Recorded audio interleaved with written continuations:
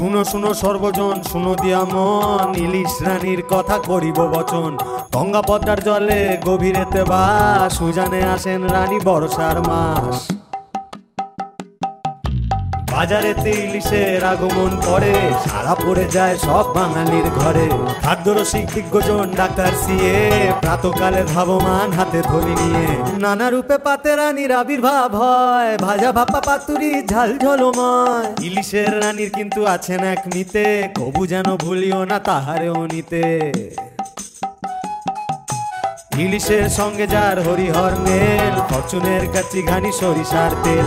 Fortune দিয়া করিলে ইলিশ বড়, না জন্মকাল সাদ রহিবে স্মরণ। ফরচুনের সঙ্গে তাই হোক মৎসমু ইলিশের উৎসবে বাঙালির সুর। ইলিশের মরশুমে ঘরে ঘরে রব। ফরচুন জানায় শুভ ইলিশ উৎসব।